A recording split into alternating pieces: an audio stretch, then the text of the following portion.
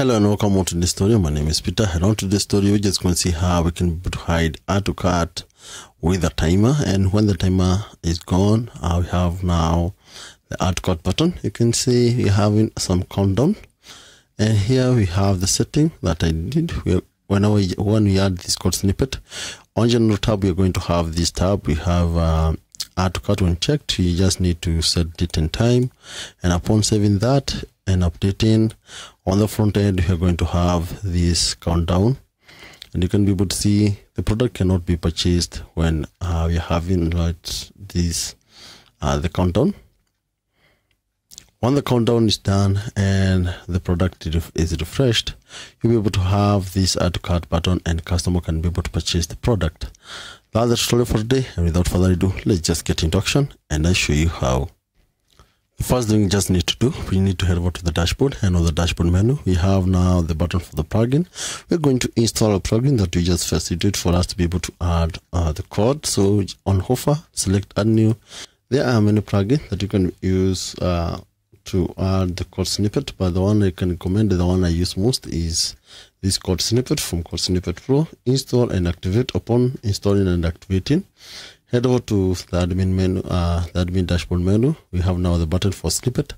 Select a new we need to add a code snippet that will do all the function for us. On the link on the description i include the link on where you can get the code. So let me just copy this one. I need to here to just give a, a name phone i add the code.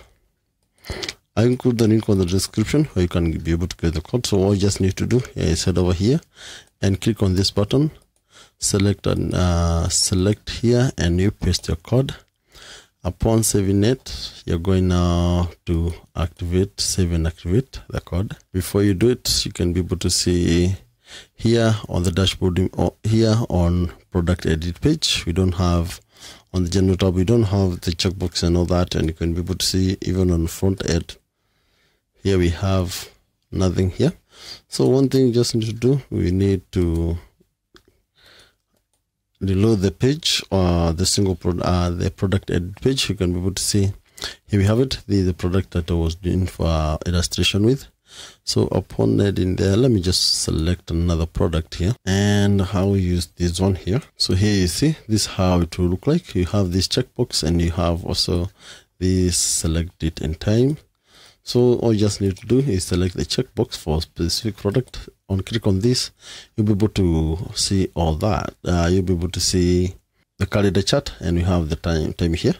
So the the other thing you just need to do, uh, you just need to.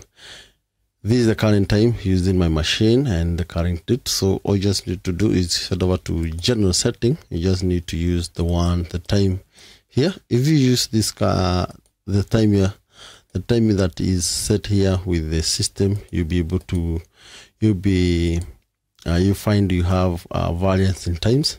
For instance what i mean is that if i decide to use the current time like uh, for instance is 43 so i set like 45 and i update here. You'll be able to see we are going to have a very variance a big variance like positive 3 because it just detected the time but you're going to use the one that is on our trace. So head over to the setting uh, on the dashboard menu. Head over to setting general and you're going to have the time.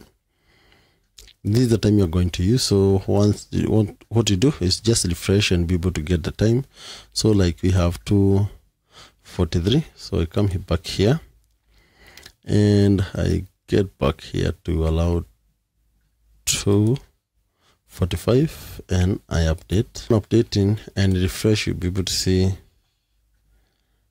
the time now here is about 40 40 something seconds. And on the other product here you'll be able to see that we still have the add to cart button but on this it just have a countdown. And once the countdown is done customer need to refresh the page or reopen the page for them to be able to see the add card button. So let's wait and see if it work. Almost there. It's just few seconds to one. And once it disappear on refresh here, now we have the add cart button and customer can be able to purchase this product. What if now we add this product to the cart? We head over back here and we head over back here and we add some like few seconds uh, a minute like that and we refresh here on our product. Let's see? You see it has been removed.